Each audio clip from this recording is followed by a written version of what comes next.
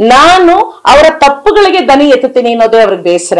ನಾನು ಈ ತರದ್ ಮಾಡಬಾರ್ದು, ಇಲ್ಲಿ ನಿಲ್ಲಿಸ್ಬೇಡಿ, ಇದು ತಪ್ಪು, ಮತ್ತೆ ಇದ ಇವ್ರನ್ನೆಲ್ಲ ಫ್ಲೆಕ್ಸ್ ಗಳನ್ನೆಲ್ಲ ಕಟ್ಟೋದು, ದೊಡ್ಡ ದೊಡ್ಡ ಮುಖಗಳ ಹಾಕಿ ತುಂಬಾ ಆರಾರು ತಿಂಗಳು ಅದನ್ನ ಅವ್ರ ಮಖಗಳನ್ನ ನೋಡೋದು ಪಟಾಕಿಗಳನ್ನ ಹೊಡೆಯೋದು, ಹೋದ್ ಸತಿ ಕೃತ್ಯ ಆದ್ಮೇಲೆ ಈ ಸತಿ ಹನ್ನೆರಡು ಗಂಟೆ ಹೊಡೆಯೋ ಪಟಾಕಿ ಎಂಟೂವರೆ ಒಂಬತ್ತಕ್ಕೆ ಬಂದಿದೆ. ಯಾವ್ದು ನಿಂತಿಲ್ಲ. ಯಾವ್ದೇ ಇಲ್ಲ. ಹೋದ್ ಸತಿ ನನಗಾದಂತದ್ದು ಅವ್ರು ಹೇಳ್ತಾ ಇದಾರೆ, ಸಂಧಾನ ಕರಿತಾ ಇದಾರೆ. ಹೀಗೆ ಹಾಗೆ ಅಂತೆಲ್ಲ ಹೇಳ್ತಾರೆ. ನಾನು ಯಾವ ಸಂಧಾನಕ್ಕೆ ಯಾರನ್ನೂ ಕರೆದಿಲ್ಲ.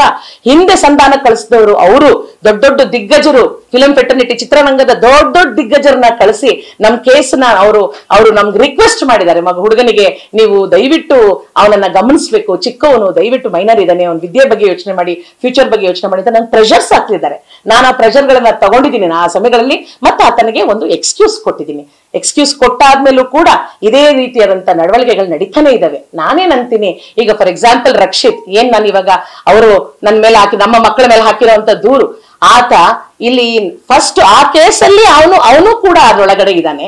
ಜೊತೆಗೆ ಎಲ್ಲದಕ್ಕಿಂತ ಹೆಚ್ಚಾಗಿ ಅವನು ಒಬ್ಬ ಪಾಪ ಅಮಾಯಕ ಬಡವ. ಹೇಗೆ ನಮ್ಮ ಮೇಲೆ, ನಮ್ಮ ಮಕ್ಕಳ ಮೇಲೆ ಕೇಸ್ ಹಾಕ್ತಾನೆ? ದೊಡ್ಡವರು, ಅವರು ಮನೆಯವರು ಅದಕ್ಕೆ ಕುಮ್ಮ ಕೊಟ್ಟು ಆ ಹುಡುಗನಿಗೆ ಹಾಕಿಸಿ ಅವನನ್ನ ಇಟ್ಟಿದ್ದಾರೆ. ಮತ್ತೆ ಎಲ್ಲದಕ್ಕಿಂತ ಹೆಚ್ಚಾಗಿ ವೆರಿ ಇಂಪಾರ್ಟೆಂಟ್ ಈ ಏನು ಕೇಸ್ ಹಾಕಿದ್ದಾರೆ ನಮ್ಮ ಮೇಲೆ, ಆ ವಿಚಾರವಾಗಿ ಮಾತಾಡ್ಬೇಕು ಅಂದ್ರೆ ನಮ್ಮ ಡಾಕ್ಟರ್ ಬಿ ಆರ್ ಅಂಬೇಡ್ಕರ್ ಅವರು ಸಂವಿಧಾನನ ರಚಿಸಿದಾಗ ಅವರು ವರ್ಗಕ್ಕೆ ಮಾಡಿಕೊಟ್ಟಂತ ವರ ಇದು. ಈ ವರನ್ನ ಯಾರಾದ್ರೂ ವಿದ್ಯಾವಂತರ ಮೇಲೆ, ಬುದ್ಧಿವಂತರ ಮೇಲೆ ಉಪಯೋಗಿಸಿದ್ರೆ ನಮ್ಮ ಡಿ ಎಸ್ ನಾಯಕರಿದ್ದಾರೆ, ಅವರೆಲ್ಲ ನೋಡಿದ್ರೆ ಕೇಳಿಸ್ಕೊಂಡ್ರೆ ಅವರೇ ಉಲ್ಟಾ ಇದಕ್ಕೆ ಅವರಿಗೆ ಮತ್ತೆ ಇದಕ್ಕೊಂದು ಉತ್ತರ ಕೊಡ್ಬೇಕಾಗಿ ಬರ್ತದೆ. ಯಾವಾಗ ಎವಿಡೆನ್ಸ್ಗಳು ಇರೋದಿಲ್ಲ. ಯಾವಾಗ ಇವರು ಹಾಕಿರೋ ದೂರುಗಳೆಲ್ಲ ನಮ್ಮ ಮಕ್ಕಳ ಮೇಲೆ ಸುಳ್ಳು ಅಂತ ಗೊತ್ತಾಗತ್ತೋ, ತುಂಬಾ ತುಂಬಾ ಇದನ್ನ ಅವರು ಆ ಹುಡುಗನಿಗೆ ಗೊತ್ತಿಲ್ಲ, ಅವನ ವಿದ್ಯೆ ಕಮ್ಮಿ. ಆದ್ರೆ ಅದರದ್ದು ಪರಿಣಾಮ ರೇಖಾ ಜಗದೀಶ್ ಮತ್ತು ಜಗದೀಶ್ ಅವರಿಗೆ ಖಂಡಿತ ಅದ್ರದ್ದು ಉತ್ತರ ಕೊಡ್ಬೇಕಾಗ್ತದೆ. ಹೇಗೆ ಅವರು ಆ ಏಕಾಏಕಿ ಒಂದು ವಿದ್ಯಾವಂತರು, ವಿದ್ಯಾವಂತರ ಮನೆಗೆ ಮಕ್ಕಳ ಮೇಲೆ, ನನ್ನ ಮಕ್ಕಳೆಲ್ಲ ಓದಿರೋ ಅಂತವ್ರು ಅವ್ರನ್ನ ನಾವು, ನೀವು ಸೊಸೈಟಿಯಲ್ಲಿ ಕೇಳಬೇಕು, ರಜತ್ ಏನು, ಶಮಂತ್ ಏನು, ಎಂತ ಮಕ್ಕಳು ಅಂತ ಸೊಸೈಟಿ ಹೇಳುತ್ತೆ. ಹಾಗೆ ಅವ್ರ ಮಗನ ಬಗ್ಗೆನೂ ಅವ್ರು ತಿಳ್ಕೊಳ್ಳಿ ಯಾವ ತರ ಅಂತ. ಇದು ನೋಡಿ, ನಾನು ಅವತ್ ಕೊಟ್ಟಂತ ಒಂದೇ ಒಂದು ಎಕ್ಸ್ಕ್ಯೂಸು ಅವನ ಫ್ಯೂಚರ್ ಆಗ್ಲಿ ಅಂತ, ಅವನಿಗೆ ಒಳ್ಳೇದಾಗ್ಲಿ ಅಂತ. ಆದ್ರೆ ಇದು ಏನಿದು?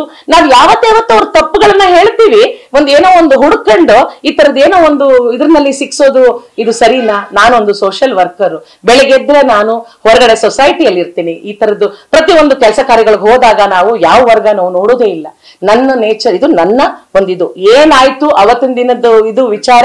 ನನ್ನ ಮಗ ಸೊಸೆ ಹೋಗ್ತಾ ಇರುವಂತ ಇದರಲ್ಲಿ ನಿಟ್ಟಿನಲ್ಲಿ ನಾನು ಯಾವಾಗ ಇವೆಲ್ಲ ಮಾಡಿದೀನಿ ಮನಸ್ಸಲ್ಲಿ ಇಟ್ಟಿದ್ದಾರೆ ಇದನ್ನ ಒಂದು ವೆಂಜನ್ಸ್ ಅಲ್ಲೇ ಮಾಡಿರೋದು. ಅಸೂಯೆ ಅಂತ ಹೇಳ್ತಾರಂತೆ. ಎಂತ ಅಸೂಯೆ? ಅವ್ರ ಮನೆ ಎದುರುಗಡೆ ನನ್ನ ಮನೆ, ಅವ್ರ ಕಾರ್ಗಳ ಎದುರುಗಡೆ ನನ್ನ ಕಾರು. ಎಂತ ಅಸೂಯೆ ಪಡೋದು ನಾವು? ಒಬ್ಬರ ಮೇಲೆ ಒಬ್ರು. ಯಾವ ಅಸೂಯೆನೂ ಇಲ್ಲ.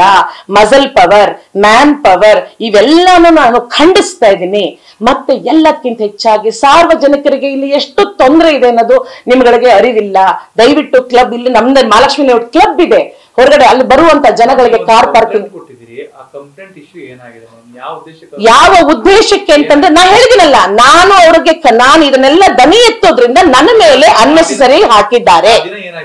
ಆ ದಿನ ನನ್ನ ಮಗ ಹೋಗ್ತಾ ಇರುವ ಕಾರ್ನ ಕಾರ್ನಲ್ಲಿ ಬಂದು ಅವ್ರ ಕಾರನ್ನ ಆ ಕಾರಲ್ಲಿ ರಕ್ಷಿತ್ ಮತ್ತು ಸ್ನೇಹಿತ ಜಗದೀಶ್ ಇಬ್ರು ಕೂತಿರುವ ಕಾರು ನನ್ನ ಮಗ ಓಡಿಸ್ತಿರೋದು ಯಾವ ಡ್ರೈವರ್ ಅಲ್ಲ ನನ್ನ ಮಗ ಸೊಸೆ ಹೋಗ್ತಾ ಇರುವಂತ ಕಾರಿಗೆ ಅಡ್ಡ ಬಂದು ಚಕಮಕಿಗಳನ್ನ ಮಾಡಿ ಅಡ್ಡ ಹಾಕಿ ನಿಲ್ಲಿಸಿ ಆ ಒಂದು ಕೆಟ್ಟ ಭಾಷೆ, ಕೆಟ್ಟ ವರ್ತನೆಗಳನ್ನ ಮಾಡ್ತಾ ಮಾಡಿರುವಂತ ವಿಚಾರ ವಿನಿಮಯಗಳಲ್ಲಿ ಮಾಡಿರುವಂತ ಇದು ಕೇಸು.